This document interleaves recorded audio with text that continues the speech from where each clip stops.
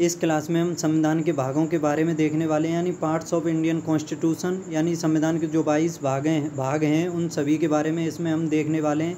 और इन सभी भागों के अंतर्गत ये आती हैं तीन सौ पचानवे अनुच्छेद, बारह अनुसूचियाँ, यह सभी इन्हीं के अंतर्गत आती हैं। आपको संविधान के बारे में बता दूँ कि संविधान जो है कानूनी रूप से लिखित एक दस्तावेज़, यानी मसौदा है, कानूनों का लिखित मसौदा है, और इस, इसको जो बना, यह जो बना था इसको बनाने में कुल दो साल, ग्यारह महीने, अठारह दिन का समय लगा था। यानी इसकी, इसको बनाने के लिए जो पहली बैठक नौ दिसंबर 1946 को हुई थी 9 दिसंबर 1946 को और इसकी आखिरी बैठक हुई थी 26 जनवरी 24 जनवरी 1950 को इसकी आखिरी बैठक हुई तो हुई थी। तो इस बीच, इस टाइम के बीच में दो साल, ग्यारह महीने, अठारह दिन का टाइम लगा था इसे बनाने में। और इसे बनाने में कुल चौंसठ लाख रुपए का खर्चा आया था और इस पर 114 दिन तक बहस हुई थी। ठीक है, और यह 29 दिसंबर 29 नवंबर, उन्नीस सौ उनतीस नवंबर, उन्नीस सौ उनचास को पारित हुआ था। और यह लागू तो 26 जनवरी 1950 से हुआ था, लेकिन इसमें एक बात और बता दूँ कि जब यह पारित हुआ था तो उस टाइम इसमें तीन सौ पचानवे तीन सौ पचानवे अनुच्छेद थे, बाईस भाग थे और कुल इसमें आठ अनुसूचियाँ थीं। चार जो अनुसूचियाँ इसमें बाद में संविधान संशोधन के द्वारा जोड़ी गई थी। जिसमें पहली अनुसूची थी, वो जोड़ी गई थी पहले संविधान संशोधन के द्वारा उन्नीस सौ इक्यावन में और यह भूमि सुधार से संबंधित थी। और इसमें दूसरी अनुसूची जोड़ी गई थी, बावनवें संविधान संशोधन के द्वारा और यह दल बदल से संबंधित थी।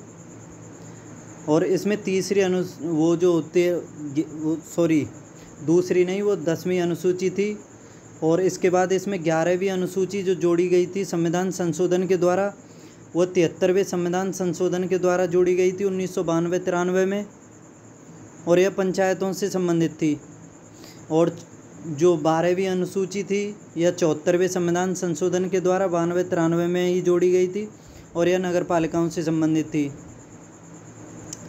आपको बता दूँ कि जो मूल संविधान था और जो वर्तमान संविधान है, उसमें मतलब मूल संविधान में अब तक कई बार संविधान संशोधन हो चुके हैं। जिस कारण देखा जाए तो जो कुल अनुच्छेद हैं, उनकी संख्या चार सौ पचानवे तक पहुँच गई है। लेकिन ये गिने तीन सौ बान, तीन सौ ही जाते हैं, क्योंकि जैसे तीन सौ तीन सौ, क्या बताऊँ, जैसे संविधान संशोधन कोई हुआ, जैसे दो सौ तैंतालीस है तो इसमें संशोधन हुआ। पहला संशोधन हुआ तो ए हो गया, दूसरा हुआ बी जुड़ गया। इस क्रम से इसमें जुड़ते गए संविधान संशोधन ए, बी, सी, डी के हिसाब से। तो संख्या तो तीन सौ पचानवे ही रही और उस हिसाब से अगर संख्या के हिसाब से देखा जाए तो चार सौ पचानवे के आसपास पहुँच गए। और अनुसूचियाँ भी मूल संविधान में आठ थीं, जो वर्तमान में बयालीस वो बारह हैं। ठीक है तो अब मेन टॉपिक पर पहुँचते हैं इसमें, संविधान के भागों के बारे में। और भागों को देखते हैं कि इसमें एक साइड में लिखा हुआ है भाग का नाम भागों का क्रम लिखा हुआ है और उससे संबंधित विषय के बारे में और एंड में लिखा हुआ है अनुच्छेद, यानी उस भाग में कितने अनुच्छेद और किस अनुच्छेद से किस अनुच्छेद तक आते हैं। जैसे पहला भाग है, पहले भाग के अंतर्गत आता है संघ और उसके राज्य क्षेत्रों के बारे में। है जो पहला भाग है, उसमें संघ और राज्य क्षेत्र हैं और यह अनुच्छेद एक से लेकर के चार अनुच्छेद तक है। आगे भाग दो भाग दो नागरिकता से संबंधित है। यानी भाग दो में नागरिकता का प्रावधान किया गया है और अनुच्छेद पाँच से ग्यारह तक किया गया है।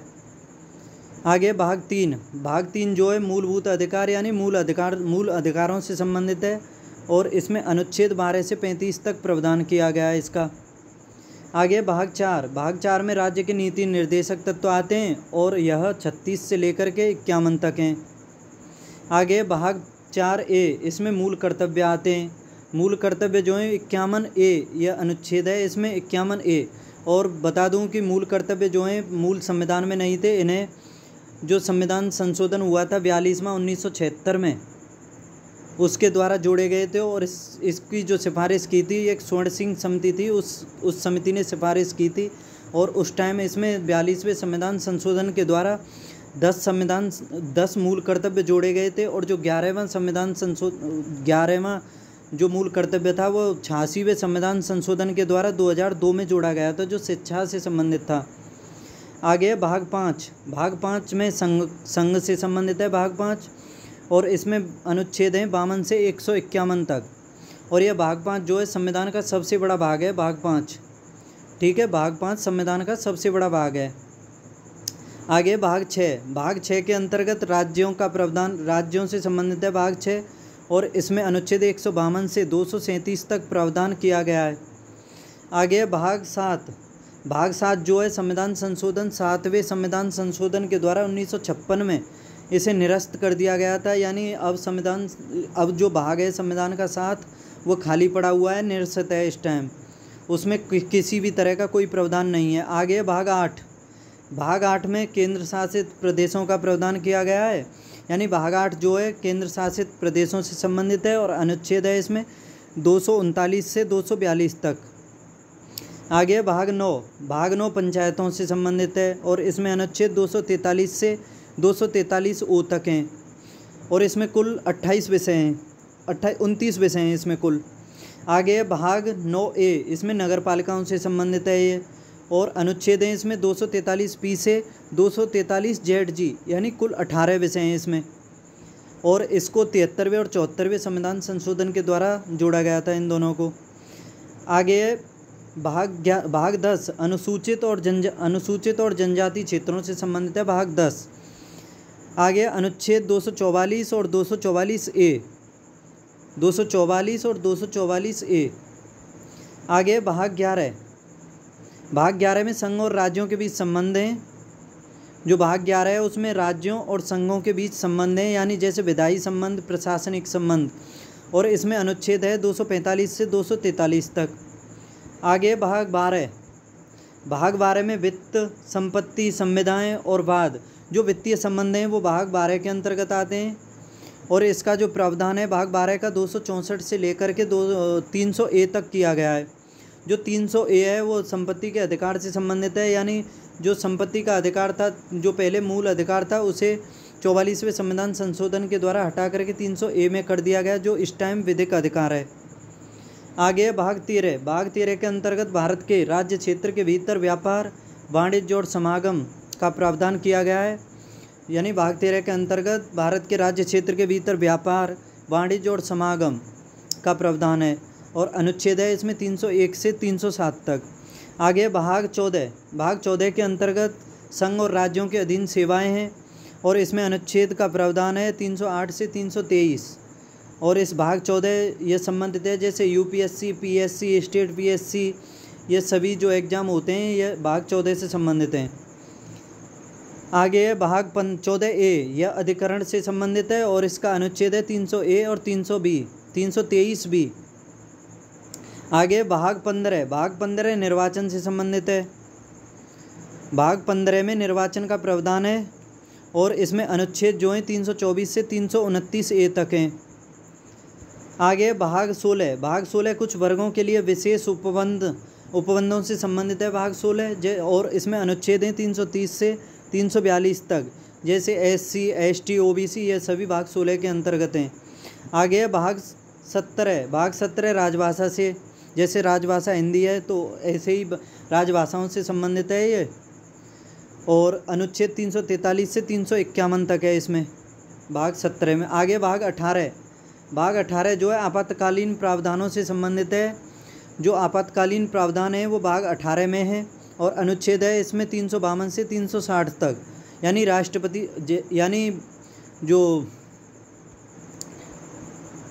ये जो भाग अठारह में आपातकालीन प्रावधान है राष्ट्रीय आपातकाल राष्ट्रपति शासन और वित्तीय आपातकाल राष्ट्र राष्ट्रपति वो राष्ट्रीय आपातकाल तीन सौ बावन में रा, राष्ट्रपति शासन तीन सौ छप्पन में और वित्तीय आपातकाल तीन सौ साठ में। आपको बता दूँ कि तीन सौ साठ में जो वित्तीय आपातकाल का प्रावधान है ये एक भी बार भारत में नहीं लगा है। ठीक है और राष्ट्रपति शासन कई बार लग चुका है और राष्ट्रपति और राष्ट्रीय आपातकाल भी दो तीन बार लग चुका है। ठीक है? आगे है भाग उन्नीस। भाग उन्नीस है प्रकीर्ण से संबंधित और अनुच्छेद है इसमें तीन सौ इकसठ से तीन सौ सड़सठ तक। आगे है भाग बीस। भाग बीस जो है संविधान संशोधनों से संबंधित है और इसमें अनुच्छेद आता है तीन तीन सौ अड़सठ आता है भाग बीस के अंतर्गत और यह संविधान संशोधन संशोधन से संबंधित है और संविधान संशोधन की जो प्रक्रिया है दक्षिण अफ्रीका से ली गई है। ठीक है, याद रखना संविधान संशोधन की प्रक्रिया दक्षिण अफ्रीका से ली गई है। आगे भाग इक्कीस। इसमें अस्थायी संक्रमणकालीन और विशेष उपबंध। हैं भाग इक्कीस में अनुच्छेद है। इसमें तीन सौ उनहत्तर से तीन सौ बानवे तक। आगे संविधान का लास्ट भाग है, बाईसवां। इसमें संक्षिप्त नाम, प्रारंभ इसका संविधान का, हिंदी में प्राधिकृत पाठ और निरसन निरसन के बारे में, यानी निरस्त करने के बारे में। और अनुच्छेद है। इसमें तीन सौ तिरानवे से तीन सौ पचानवे तक। तो दोस्तों, ये इम्पोर्टेंट टॉपिक था। मैंने आपसे डिस्कस किया संविधान के भागों के बारे में। तो बताइए आपको वीडियो कैसी लगी, अच्छी लगी, कैसी लगी? कमेंट बॉक्स में ज़रूर बताइए। वीडियो अच्छी लगी हो तो लाइक, शेयर ज़रूर कीजिए। अगर चैनल को सब्सक्राइब नहीं किया तो पहले प्लीज़ चैनल को सब्सक्राइब करें और दोस्तों के बीच वीडियो को शेयर ज़रूर करें। ओके, पढ़ते रहें जब तक।